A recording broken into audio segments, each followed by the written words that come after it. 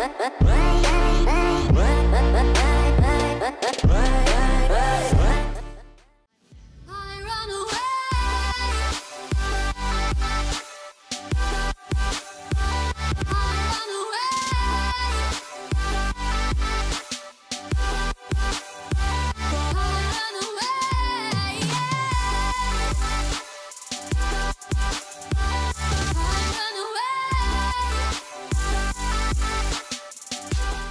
Hello everybody, United Gaming here, and in today's video I'm going to be showing you an out-of-map glitch on Nessus in Destiny 2. I believe this is going to be the first out-of-map glitch video for Destiny 2 since the game actually came out. I know there was one for the beta, but I don't know if there's been any out-of-map glitches since the game actually did come out.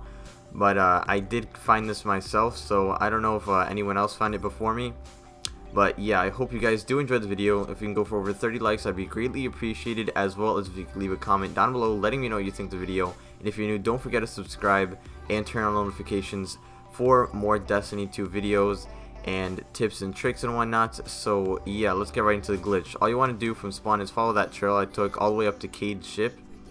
And from Cayde Ship, you'll find a uh, little platform, I guess you could say, or a ledge sticking out of the wall. Kind of want to hover over to it and you'll land in it. It's kind of hard to uh, jump the first few times, but uh, you'll get it. But uh, just land on the ledge and kind of angle yourself so you'll just jump straight up. And yeah, from there you're already out of the map. It's this easy, and all you gotta do is just hop twice and you're out. There's uh, not really much uh, that I could find with this, but if you guys can get super far out the map, let me know. Uh, I don't know, maybe message me on Twitter or in my comment section. Tell me you uploaded a video or something on this.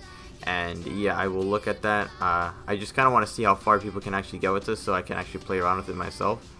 And yeah, I hope you guys enjoyed the video. And as I said, I did find this myself, or at least I think I did. If I didn't, let me know and I will credit that person down in the description down below. And yeah, I hope you guys do enjoy the video, and I will see you guys in the next one.